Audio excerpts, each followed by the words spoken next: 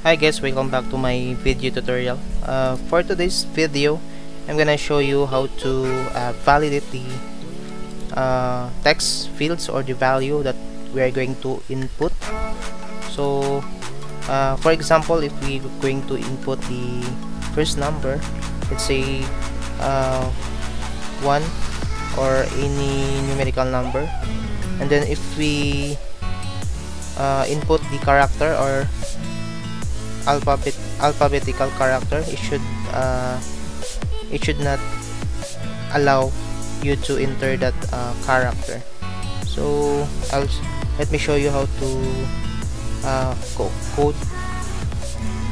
First uh, let me create a module. Um, here uh, add new item then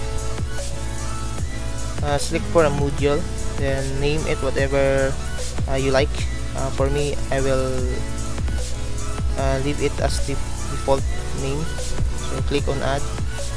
Then in the module uh, we're going to put this function for the only num numeric character let's copy this and paste in this uh, module code. So it should be numeric only. So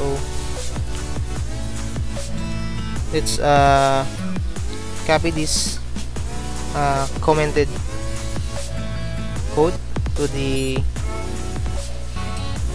form.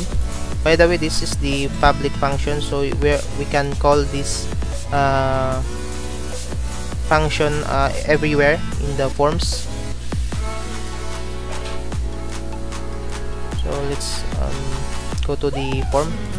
And then double click the text box. So let's put the code. So let's change the text change uh, to the key press. So let's change it from text change to key press. Yeah key press. Then put the code this code. So this will call the public function that we uh, declared here. This the only only numeric. So let's call the only numeric character.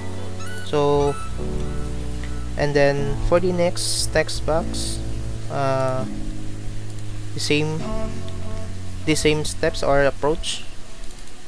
Then double click then change the text change to key press. Then put the or paste the code the e dot uh, handled that uh, e dot handled equals only numeric ASCII. So character so it will only accept the numeric value. So let's uh, try to run the program and then uh, input the character. Alphabetical or alphabetical character. So it will pop you up uh, that I uh, should uh, input the numeric only. So it it will not allow you to input any character aside from the numbers or the numeric. So let's let's say 10 so it will allow you since it is a numeric value uh, enter second number 20 it will calculate you into the result to 30 so 10 uh, sum of 10 and 20 is equal to 30 so if we put the uh, value here with let's say dot it will not allow you. So alphabetical for the letters. Only you can input the numeric value. That's how uh, validate for the entries to allow only the numeric value. So let's try the another one. Uh, for the let's say uh, if we want to input only the character then we have to uh, have this function the only character.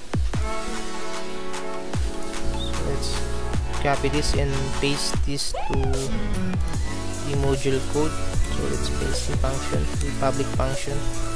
So it will allow this uh, function will only allow you to input in the text box uh, only the characters.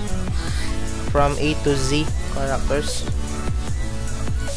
Let's uh, only car. Let's copy this code. And paste and paste here in the key press. Uh, let's say we let's uh, comment this first. Call the function of the only character. Uh, for the second field. Comment it and put in the key press uh, properties then let's try if we can uh, input the only character. Let's say we have to input the uh, character from A to Z so we can input the A, B, Z, A, B, C, D until Z. If we going if we input the numeric or numbers it will not allow you. It should not allow you. So 1 so characters only it, it wouldn't allow me to input numbers since we uh, disallow the numeric values to be inputted in this text box. So that's that's uh, how to validate uh, the entries for numbers and characters. So that's all for today's tutorial. So thank you for watching guys. If you like this video let's uh, give me a thumbs up. And please also consider subscribing to my youtube channel the KGP tutorial. And if you like this video uh, please also share it to your friends